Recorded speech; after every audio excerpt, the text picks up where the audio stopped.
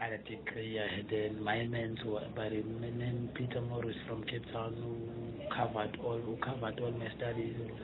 So up until I'm where I am today. But the only thing that I can tell you is that uh, we are not determined by our background. Yeah. We are determined by our future. Yeah. You see, whatever situation we can face now, current, because we're still young. Yeah. You see, I'm now sharing my my, my past, Mm. and I'm very proud that I'm sharing my past Mm. because uh, I, I, I said it, it was 2009, and I said I was never determined by where I'm coming from or current situation. I was determined by where I'm going. Even now, I'm not determined by what you see. Now. Yes, It's even now. I'm not determined by what I what you The see. goal, the I, idea. I've got these things that I want to achieve, and I'm determined by where I'm going. Mhm. You see, sometimes you need to suffer in life. You need to Yeah. experience things just because you are writing a story. For yourself. You are writing a story for someone Mm. who needs to read and listen to the story and change life of that person. So, I think I was writing a story. Uh, Because some, today, when I speak about my life, other young people are inspired. yeah, like me. Yes. and they say, they, they believe that everything is possible. True. But everything is possible only if you have a good plan in place. They say you cannot keep a good man down, a man with a vision and a plan in place.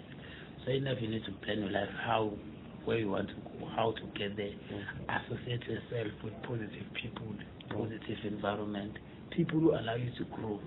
Not people who are going to discourage, discourage you or, the, or talking things that are negative. You don't need to listen to that negative voice. Yeah. Stay away from the negative So how how do you block the negative voice? Like you tell yourself that this thing is negative, it's not gonna work for me. Yeah. Then you just turn a blind eye on it.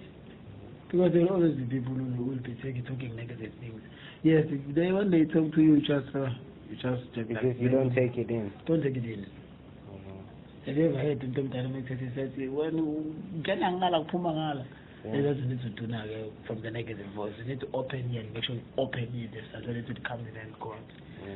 You see, but associate yourself with people, do network, network with people, sit, do research, too much research, spend more time investing in your life as a young person.